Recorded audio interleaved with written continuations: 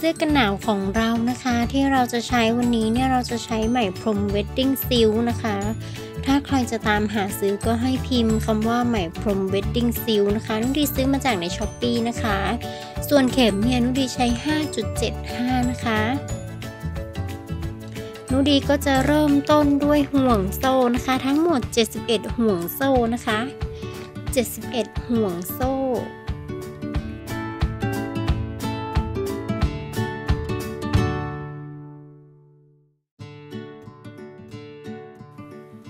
นี้นะคะ ทั้งหมด 71 ห่วงโซ่ของนุดีนะคะนุดีจะเริ่มถักในห่วงโซ่ที่ 2 ด้วยลายถัก X นะคะ ลายถัก X ก็คือคอทอนะคะ ทั้งหมด 8 หลักนะ ก็จะถักไปทั้งหมด 8 หลักนะ 3 4 5 6 7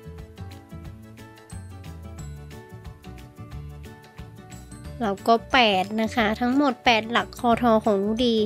นี่นะคะก็จะออกมาแบบนี้แล้วที่นี้เนี่ย ที่เหลือให้จบแถวเราจะถัก ลายถักทีนะคะ นี่นะคะก็พันหัวเข็มก่อนสอดเข้าไป แล้วก็ดึงไหมผ่านทั้ง 3 เส้นนี่นะคะ ลายถักทีแล้วก็ถักทีให้จบแถวนะคะ หลังจาก x หรือว่าโคโทนะคะ 8 หลักแล้วก็ถักทีนะคะ ให้จบแถวนะ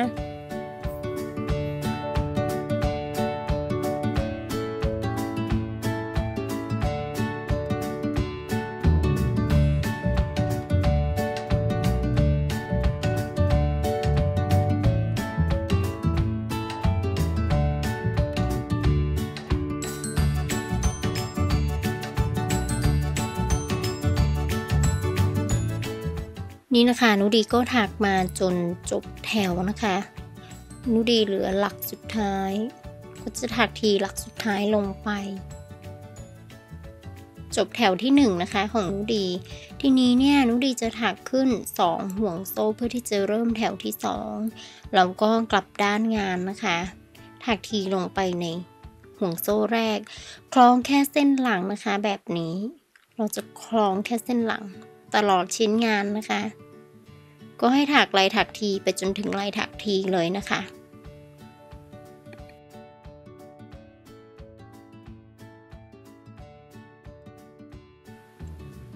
ตอนนี้นะคะก็ถักมาจนถึงหลักสุดท้ายนะคะ หลักทีสุดท้าย แล้วที่นี้เนี่ยตรงปลายด้านนี้เราเหลือ 8 หลัก x นะคะ เราก็จะถัก 8 หลัก x ของเราเหมือนเดิมนะคะ นับไปให้ครบ 8 นะคะ 1 สองสามคล้องแค่เส้นหลังเหมือนกันนะคะสี่ห้าหกเจ็ดแล้วก็แปดนะคะ หลักสุดท้าย ทีนี้เนี่ย ถักหนึ่งห่วงโซ่นะคะ นี่นะจะให้ดูชิ้นงานมันจะกลับด้านไปมานะคะหนึ่งห่วงโซ่เราก็กลับด้านงาน ก็ถัก 8 หลัก x ของเรานะคะ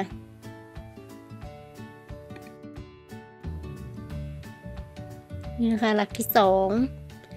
สามสี่ห้าหก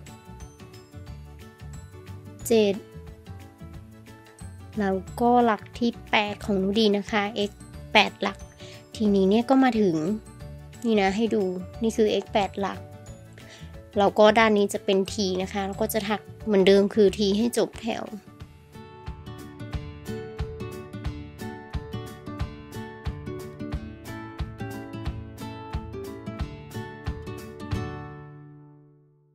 นี่นะคะก็จะให้ดูความแตกต่างของปลายทั้งสองด้านนะคะ ด้านหนึ่งจะเป็นด้านบน แล้วก็ด้านหนึ่งจะเป็นด้านล่าง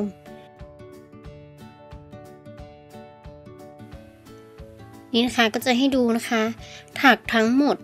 19 แถวนะคะ ตอนนี้ดีก็ได้ทั้งหมด 19 แถวสำหรับปกด้านหน้าหนึ่งข้างนะคะ ก็ให้เราถักทั้งหมด 2 ข้าง ก็จะได้ทั้งหมด 19 แถวเนี่ยทั้งหมด 2 แผ่นแบบนี้นะคะ แล้วก็ส่วนแผ่นด้านหลังเนี่ยให้เราเริ่มต้นห่วงโซ่เหมือนเดิมด้วยกันก็คือ 71 ห่วงโซ่เหมือนกัน แล้วก็จำนวนแถวเนี่ยทั้งหมด 45 แถวนะคะสำหรับแผ่นด้านหลังนะคะ 45 แถวก็ถักให้ได้เหมือนนุดีเลยนะคะเราก็จะได้ชิ้นงาน 3 แผ่น ทีนี้เนี่ยเราจะมาเริ่มการต่อชิ้นงานก็คือ นี่นะคะ แผ่นหน้าอกทั้งสองข้างนุดีจะต่อลงไปแบบนี้เพื่อให้เป็นตัวเสื้อด้านหน้าแล้วก็ด้านหลังนี่นะให้ดู ก็คือจะประกบกันแบบนี้ แล้วก็เอาอีกข้างหนึ่งนะคะ มาประกบด้านนี้นี่นะคะ ก็จะประกบแบบนี้ ก็ถ้าใครจะใช้วิธีง่ายๆ ก็ใช้เข็มสอยนะคะ เย็บติดเข้าไป หรือว่าถ้าจะถักเหมือนนุดีก็คือนุดีถักลายทาง X นะคะ เชื่อมต่อทีละแถว ก็นุดีถักต่อด้วยลายถัก X ก็คือต่อระหว่างแถวนะคะ ต่อก็ไปก็คือ 1 หลัก 1 หลักแค่นั้นนะคะ ง่ายๆแบบนี้นะ ทีนี้เนี่ยหลังจากนี้เนี่ยนุดีจะให้ดูวิธีการถักแขนนะคะ ก็คือเราจะถักแขน เริ่มต้นตรงจุดที่เราต่อเลย แขนเนี่ยก็คือจะถักเหมือนกันแบบนี้นะคะลายถักเดียวกันเลย แต่ว่านุดีจะเริ่มที่จุดที่เราเชื่อมต่อแผ่นงานทั้งสองแผ่น เริ่มต้นด้วย 1 ห่วงโซ่นะคะที่เข็มของเรา แล้วก็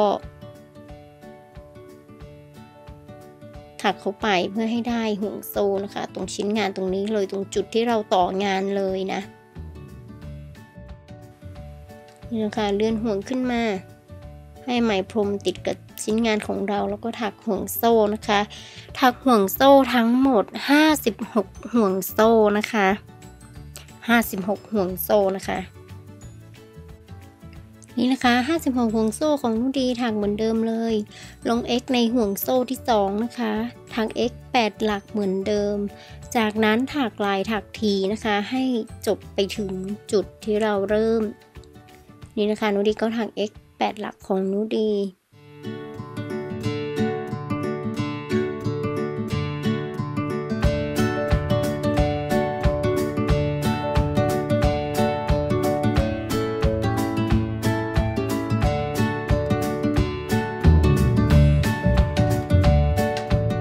นี่นะคะได้ x 8 หลักแล้วก็เริ่มถักลายถักทีนะคะ ถักลายถักทีไปให้ถึงจุดที่เราเริ่มต้นตัวแขนเสื้อเลยนะคะ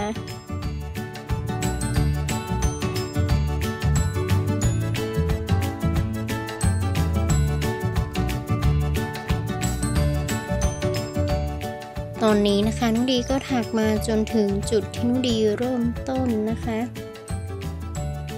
ก็จะให้ดูว่าตัวหลักงานของเราจะเป็นอย่างนี้ก็คือ 1 หลัก 2 หลักแบบนี้ ให้เราเว้น 1 หลักแรกนะคะ เว้นที่หลักแรก แล้วก็เชื่อมต่อที่หลักที่2ด้วยเลื่อนห่วงขึ้นมา ถัก 1 ห่วงโซ่ เว้น 1 หลัก ถักแค่ 1 ห่วงโซ่ค่ะแล้วก็เว้น 1 หลัก แล้วก็มาเชื่อมต่อที่หลักถัดมาตรงนี้นะคะ เลื่อนห่วงมาเลย แล้วก็กลับด้านงาน ถักลายถักทีนะคะ ไปให้ถึงลายถักที แล้วก็ที่ลายถัก x ก็ถักลายถัก x 8 หลักเหมือนเดิมนี่นะคะ จีการเริ่มชิ้นงานของเราแล้วก็จะคล้องแค่เส้นหลังเหมือนเดิมนะ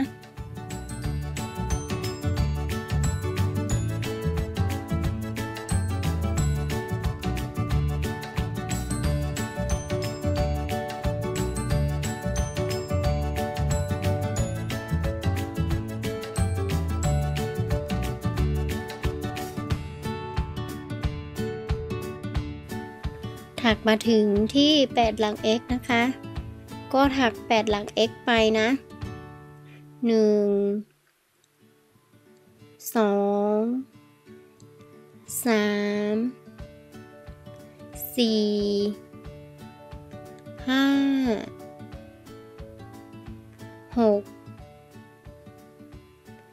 7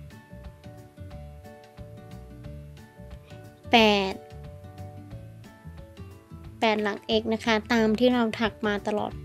ชิ้นงานของเราเลย แล้วก็1ห่วงโซ่กลับด้านงาน แล้วก็ถัก x ไป 8 หลักเหมือนกัน2สามสี่แล้วก็ห้านะคะหกเจ็ดแปด ที่เหลือก็ถักลายถักทีไปให้จบจนถึงจุดที่เราจะต่อตัวงานกับส่วนชิ้นงานที่เราถักมานะ นี่นะคะแถวที่ 3 ของเราก็ใกล้จะจบแล้วนะคะ จะมาถึงตรงจุดที่เราจะต่อกับชิ้นงานอีกแล้ว เมื่อกี้ที่เราทำไปนะ อันนี้ก็ลายลายถักทีหลักสุดท้ายของดีก่อน จากนั้นเนี่ยนับหลักนะคะ เว้น หนึ่งหลักตรงนี้แล้วก็เชื่อมต่อที่หลักนี้นะคะเลื่อนห่วงขึ้นมาเลยถักหนึ่งห่วงโซ่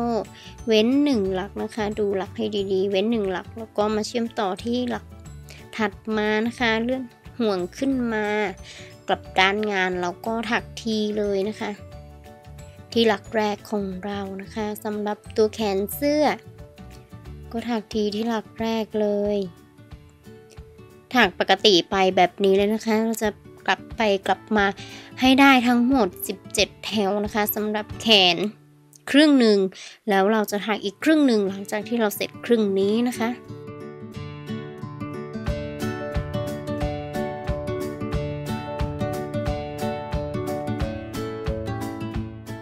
นี่นะคะ ตอนนี้นุดีก็ได้ทั้งหมด 17 หลัก 17 แถวนะคะ 17 แถวก็เชื่อมต่อ นี่นะคะเว้นหนึ่งหลักทัดที่หลักถัดมานะคะเชื่อมต่อโดยเลื่อนห่วงนะคะหนึ่งห่วงโซ่ล็อกชิ้นงานนะแล้วก็เป็นอันตัดใหม่นะคะ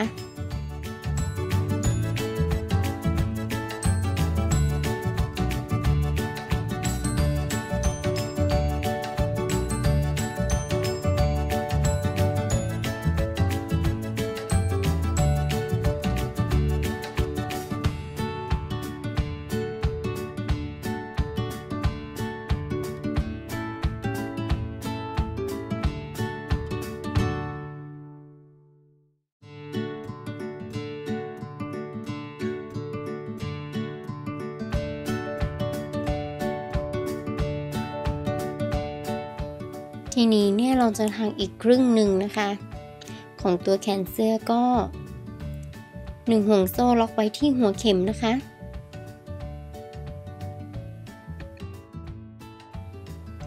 เราจะเริ่มทางอีกข้างหนึ่งนะคะ จากที่โคนแขนของเรานะคะ ก็ให้หมุนมาตรงจุดนี้นะคะ ที่เราเริ่มสำหรับห่วงโซ่ของเราตรงนี้สำหรับข้างเมื่อกี้นะคะ ก็คือว่าเราจะนับเว้น หนึ่งหลักตรงนี้ แล้วก็ถักขึ้นมาในหลักที่ 2 ตรงนี้นะคะ นี่นะอันนี้เป็นด้านหน้าสำหรับอกเสื้อนะคะ ให้เราสอดเข้าไป 2 เส้นแบบนี้เลยนะคะแล้วก็เลื่อนห่วงขึ้นมา เชื่อมต่อไหมของเรากับตัวชิ้นงาน นี่นะคะก็ถักลายถักทีนะคะ ลงไปเลยสำหรับอีกด้านหนึ่งของแขนให้เรียบร้อยนะคะ นูดีจะสอดเข้าไปใน 2 เส้นเลยนะคะ เพื่อความที่ตัวงานจะแน่นขึ้นนะคะ นี่นะลายถักทีหลักแรกของนูดี เราก็ลายถักทีหลักที่2นะคะก็ให้เราถักทีไปจนถึง จนกว่าเราจะเจอ x 8หลัก เราก็ถัก x 8หลักเลยนะคะ ด้านนี้ก็ให้เราถักทั้งหมด 17 แถวเหมือนกันนะคะ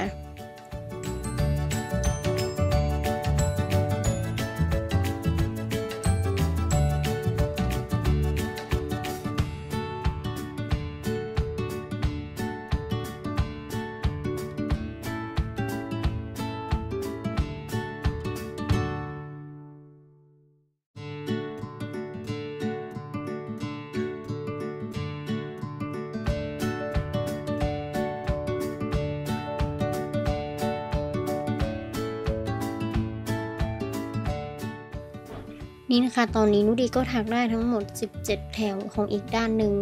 ก็จะวางให้ดูว่าตัวชิ้นงานนี่เป็นแบบนี้นะคะ เราก็จะพับ พับครึ่งกลับด้านแบบนี้ก่อนนะคะ ชิ้นงานของเรา เพื่อที่ว่าตอนนี้เนี่ยเราจะรวบแขนทั้งสองข้างเพื่อให้เป็นหนึ่งแขนของเรานี่นะคะ ไหมพรมของนุดียังไม่ได้ตัดไหม จบในแถวที่ 17 นะคะ ตอนนี้ เมื่อเราจบแถวที่ 17 แล้วเนี่ยนี่นะคะ หลัก x หลักสุดท้ายของนุดีพอทาง x หลักสุดท้ายแล้วเนี่ยนี่นะคะ ประกบกันแบบนี้เราก็กลับด้านมาอีกด้านหนึ่งนี้นะคะ สอดเข็มเข้าไปอีกด้านหนึ่ง ของตัวแขนเสื้อ เพื่อที่เราจะเริ่มประกอบ ดูดีก็สอดเข้าไปแค่หนึ่งเส้นนะคะ หรือว่าใครจะสอดเข้าไปสองเส้นก็ได้นะ เพื่อให้ความแข็งแรงมากขึ้นไม่ว่ากันนะคะ เราก็จะถักลายถัก X นะคะ เพื่อประกอบทั้งสองข้างไปตลอดชิ้นงานเลย นี่นะคะนุดีก็จะถัก X ประกบชิ้นงานไปแบบนี้นะ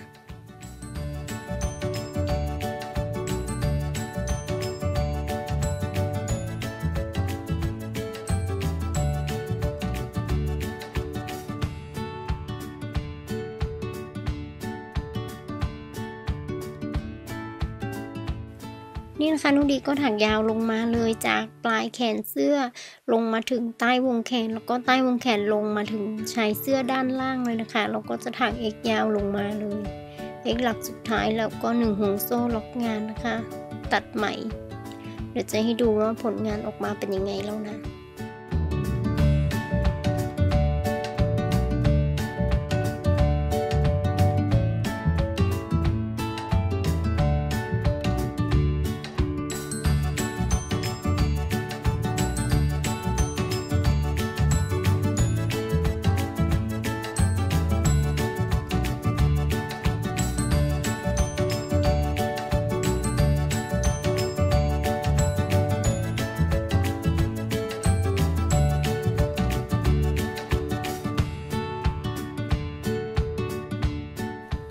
นี่นะคะนุดีก็จะวางให้ดูนะ หลังจากที่เราประกบ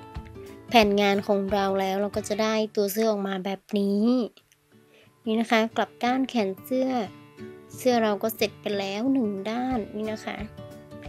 แบบนี้ไหมที่มันหลุดออกมาเนี่ยอย่าลืมเก็บให้เรียบร้อยนะคะอันนี้ของนุดีมันออกมาเดี๋ยวนุดีต้องเก็บให้แน่นกว่านี้นะ นี่นะคะให้ดู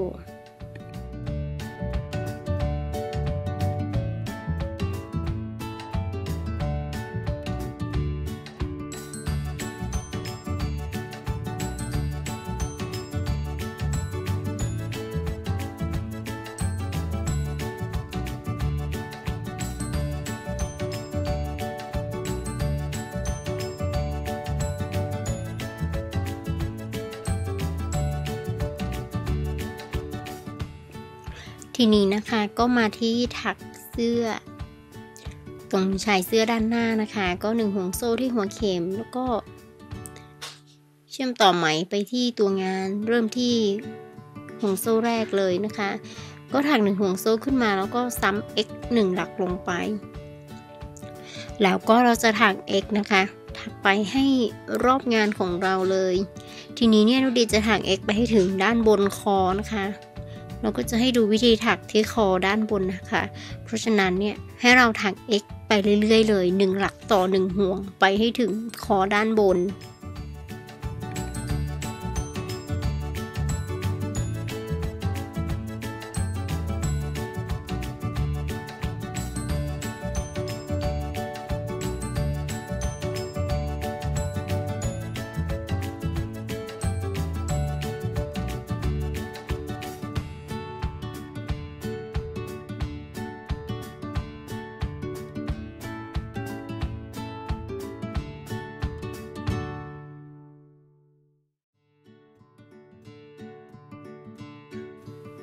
นี่นะคะน้องดีก็ทาง x มาจนถึงเหลือ 2 หลักสุดท้ายสำหรับที่จะถึงตรงจุดที่เราต่องาน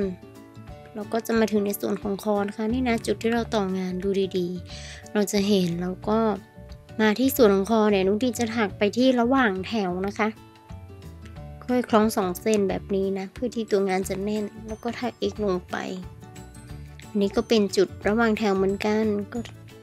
คล้องเข้าไป 2 เส้นแบบนี้ ทาง x อันนี้ก็ระหว่างแถว คล้องเข้าไปสองเส้นแล้วก็ถัก x แบบนี้นะคะ ก็ส่วนของคอนะถักแบบนี้ไปเรื่อยๆ ก็จะไปถึงส่วนชิ้นงานหน้าอกด้านหน้าอีกข้างหนึ่งเราก็จะถัก x 1 หลักต่อ 1 ห่วงไปปกตินะคะ อันนี้นุดีก็ยังอยู่ในส่วนของคอนะ นี่นะคะเราก็กลับด้านมาให้ดู ใกล้จะถึงอีกด้านหนึ่งแล้ว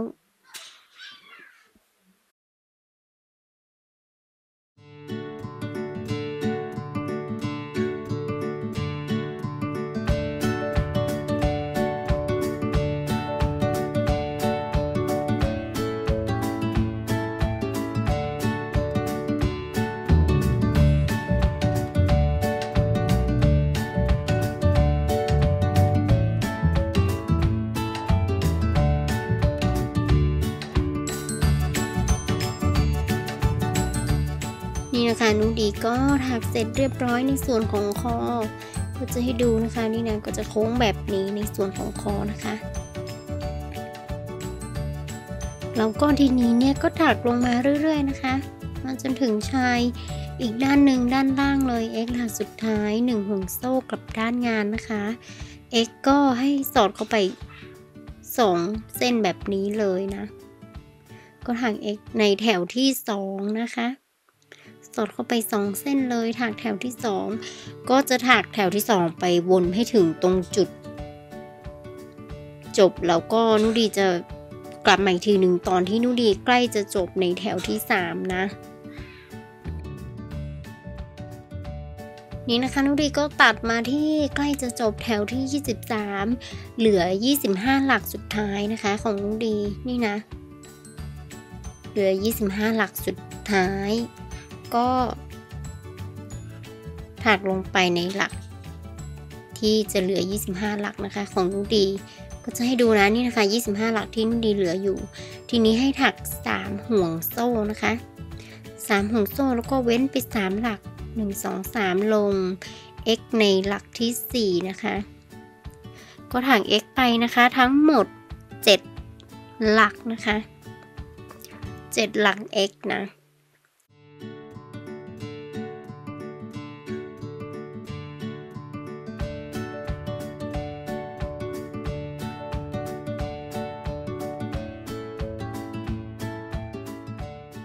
นี่นะคะ แล้วก็หลักที่ 7 ของนุดีแล้วก็ถัก 3 ห่วงโซ่นะคะสำหรับเว้นกระดุมนะ 3 ห่วงโซ่แล้วก็เว้นข้างล่าง 3 หลัก ก็ลงหลักที่ 4 นะคะ ถักไปอีก 7 หลัก x นะคะ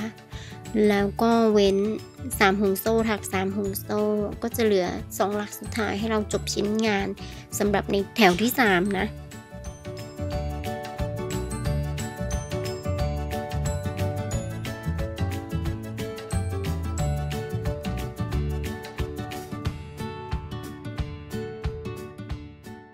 นี่นะคะ ก็สองหลักสุดท้ายของนุดีนะคะ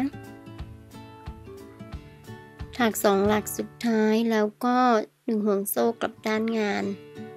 แล้วก็ถัก x ไปนะคะ ถัก x ไปแถวที่ 4 ถักแถวที่ 4 ให้จบแถวเลยนะคะ ปกติถัก x ปกติไปเลยสำหรับแถวที่ 4 ก็พอจบแถวที่ 4 แล้วเนี่ยก็1ห่วงโซ่ล็อกงานแล้วก็ตัดใหม่นะคะ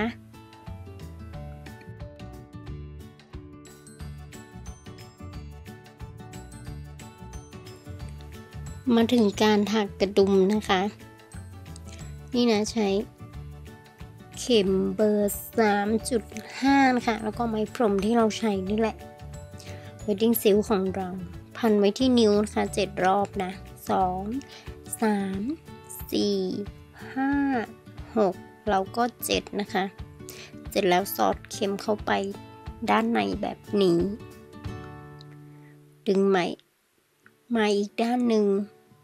นี่นะคะเราก็ถักหนึ่งห่วงโซ่นะคะล็อกชิ้นงานของเรา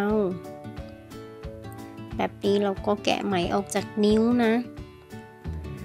ถักลายถัก x ลงไปในวงกลมของเรา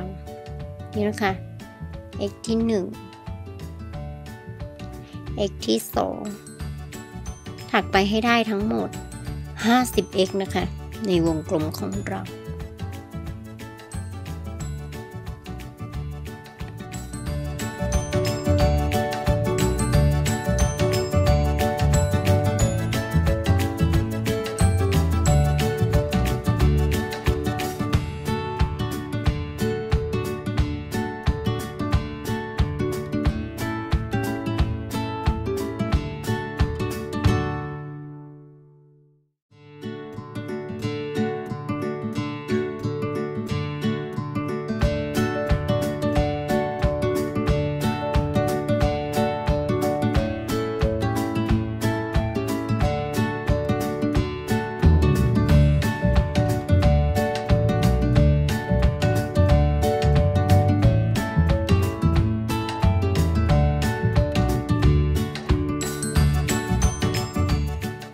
คะก็ได้ทั้งหมด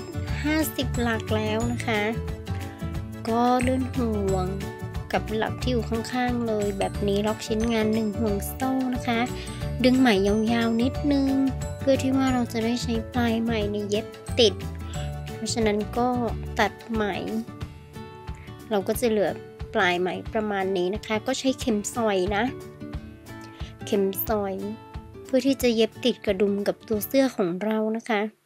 แต่ก่อนที่เราจะเย็บติดเนี่ยเราก็จะเก็บชิ้นงานให้เรียบร้อยก่อน แบบนี้